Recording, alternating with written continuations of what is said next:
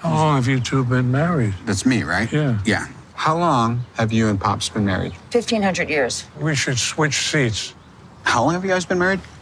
1,500 years. Did that go better this time? She looked up in the middle of something up, up that way. You're right. Let's do it again. Take three, opener.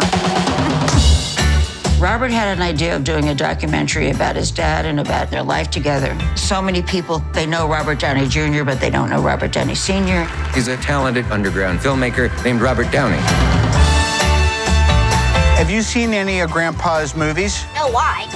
Because they're awesome. Do you want to see them someday? Did people try to ascribe meaning to your movies? Oh my God.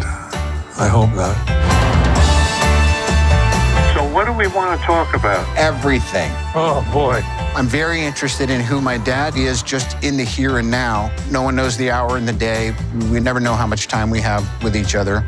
So who is this guy? Uh, I'll never know. How you been? Um, okay. Is it a struggle? Is it challenging? Is it scary? On a certain day, any of those. It's not time to make a change. It's a bit of a foray into trying to understand your dad. You're still young. That's Do you feel like you understand him now? I have a feeling I'll know a lot more when we're done. I was once like you are now. I just remember that cacophony of creativity, It's not easy. but mostly laughter. How would you describe that period of time? 15 years of total sanity. All the times that I've cried, keeping on. I think we would be remiss to not discuss its effect on me. But it's harder to ignore it. Well, I could sure love to miss that discussion.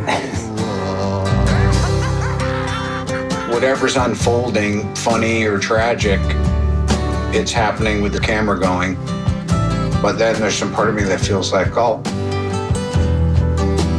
I'll miss something.